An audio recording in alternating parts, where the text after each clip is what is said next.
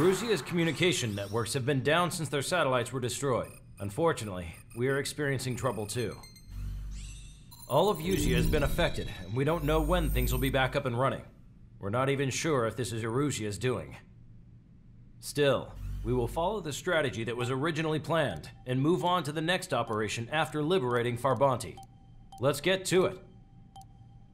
Since the war began, we've been receiving communications in secret from an officer in the Erusian army. With the capital under our control, Erusia's radical element is losing support quickly, affecting the balance of power.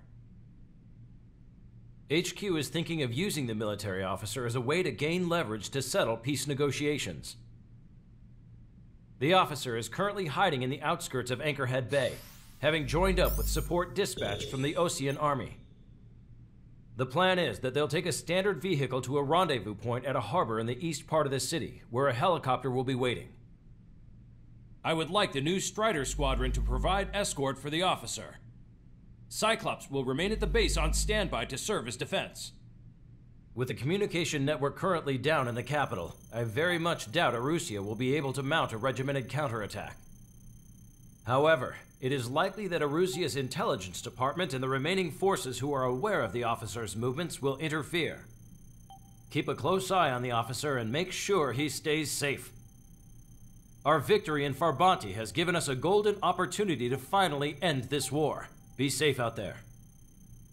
Take note that our satellite based IFF has become unreliable following the recent communications failure.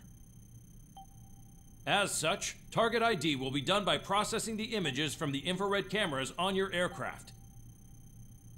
Objects will initially appear as unknown on your HUDs, but will be ID'd once you close in on them for a set period of time.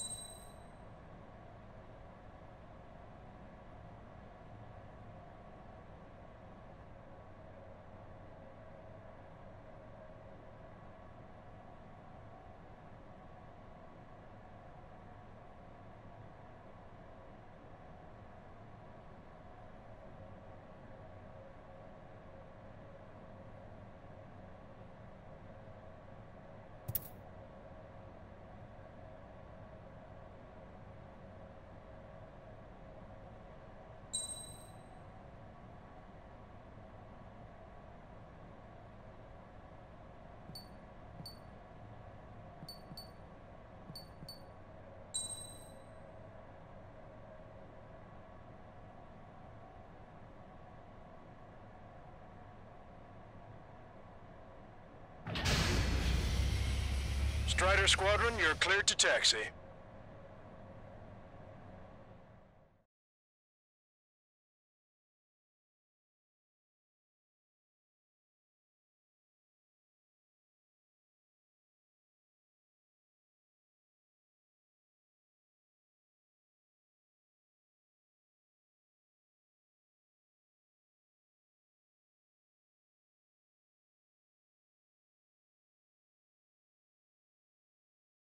To the unidentified Osean craft, this is Captain Carl of the Osean Army. Are you here for the escort? You're not the squadron I was expecting. Are you really friendlies? Over. This is Longcaster. Airborne warning and control system for the Osean Long Range Strategic Strike Group. Captain Carl, they're on our side. And those two pilots we've heard about must be here too. Okay, I hope you're right. Longcaster, are all of these really unknowns? It's a state of civil war. The Erusian army is fighting itself.